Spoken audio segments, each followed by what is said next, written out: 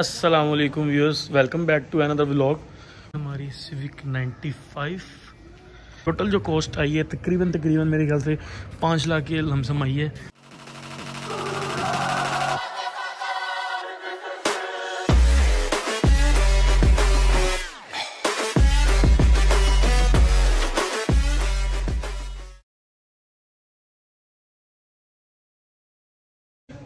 वालेकुम viewers welcome back to another vlog उम्मीद करता हूँ सब खैरियत से होंगे। सो so, आज का जो व्लॉग है वो है सिविक 95 पर। ठीक है जी? आप लोगों को दिखाता हूँ ब्लैक 95 हाकिम भाई की कंप्लीट हो गई है। तो आप लोगों को गाड़ी दिखा रहा हूँ कि अब गाड़ी कंप्लीट होके कैसी लग रही है। सो so, चलें पहले सबसे पहले गाड़ी को देखते हैं। बैक पे मेरी गाड़ी है और डिटेलिंग कराई है हमने और अब सियालकोट जा रहे हैं। हाकिम भाई को गाड़ी डिलीवर करने। तो पहले गाड़ी के बारे में आपको कुछ डिटेल्स बताता हूँ कि क्या क्या काम किया और किस तरीके से किया और किस प्रोसेस से होकर गाड़ी चलती रही आगे। सो आइए पहले गाड़ी देखिए। सो so, ये रही जी सर गाड़ी हमारी Civic 95 pearl black red pearl के साथ। गाड़ी कोटिंग हुई हुई है ठीक है? गाड़ी पे बहुत डस्ट है इस टाइम मैं आप लोगों को दिखाता हूँ ये देख लें। ये गाड़ी पे डस्ट है काफ़ी ज़्यादा। गाड़ी पे इस टाइम काफ़ी ज़्यादा डस्ट है। आप लोगों को वीडियो नज़र ही आ रही होगी। लेकिन ये पिक्चर्स आप देखें पिक्चर्स में आप लोगों को गाड़ी पता चलेगी कि गाड़ी की क्या कंडीशन है। गाड़ी माशाल्लाह बहुत माइंड ब्लोइंग जिसे कहते हैं ना कि कोटिंग हुई है। ऑटो लाइन से हमने कोटिंग कराई है एहसन भाई, ठीक है? और सनी एहसन अहमद नदीम उसके रेफरेंस से। अव्वल तो मैं खुद भी जाता था, लेकिन इस दफ़ा उसके रेफरेंस से गाड़ी करवाई है। और गाड़ी माशाल्लाह अब मेरे मुताबिक की और मेरे पसंद की, जिसे कहते हैं कोटिंग हुई है। गाड़ी की माशाल्लाह एक एक चीज़ जिसे कहते हैं ना कि उन लोगों ने निकाली है बोनट देखें बिल्कुल मिरर हुआ पड़े। शीशा जिसे कहते हैं ये बूथी भी नज़र आ रही मेरी। वेल डन तालियाँ होनी चाहिए यार हमारे लिए। अच्छा जी तो कोटिंग का आपको पता चल गया कोटिंग हमने ऑटो लाइन से कराई है।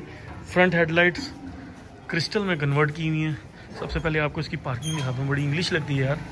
इंटीरियर भी दिखाता हूँ। ये देखो, गाड़ी डस्ट पड़ी है, उसने मुझे, उन्होंने कहा जी कि गाड़ी को ना आपने तकरीबन 24 घंटे दिकर धोना नहीं है गाड़ी को।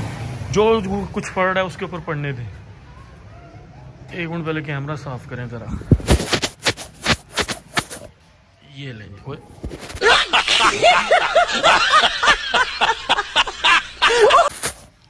हाँ जी, अभी भी नहीं हुआ? एक मिनट रुके। हाँ जी, ये हुआ कैमरा, अभी हमारा चकाचक।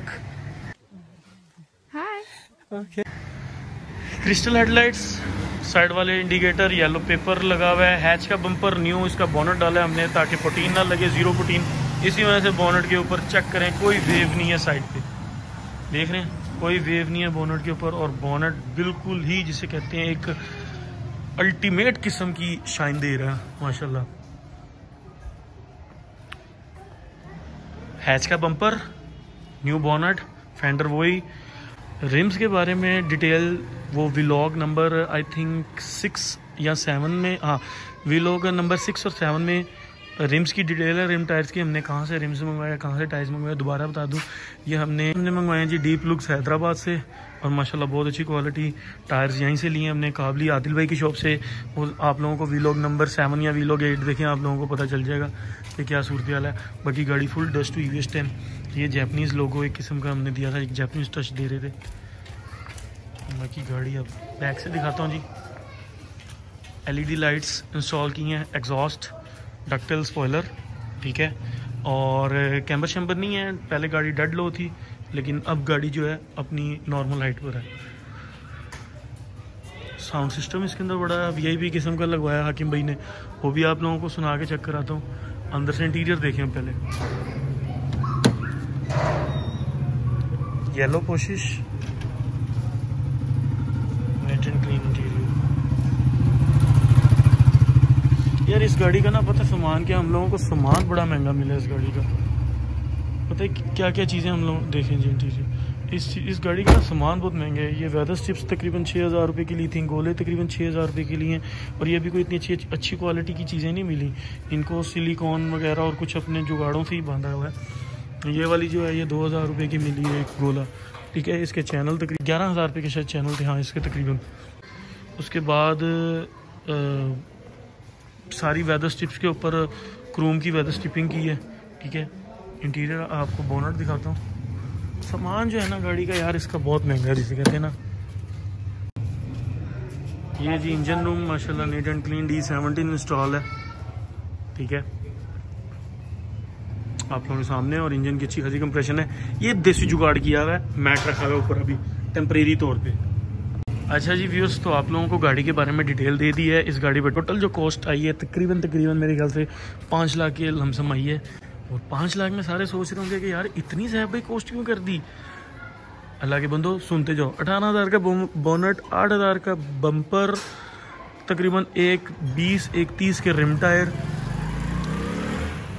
पाँच छः हज़ार रुपये के गोले वेदर स्टिप अंदर वाले बास्केट दस हज़ार रुपये की, जो अंदर लगी थी डैशबोर्ड की।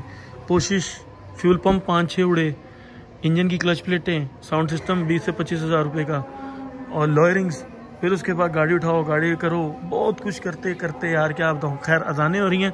अजानों के बाद बात करते हैं। अभी हम जा रहे हैं गाड़ी से आलकोट, हाकिम भाई को देने। थैंक यू सो मच अल्लाह हाफिज़।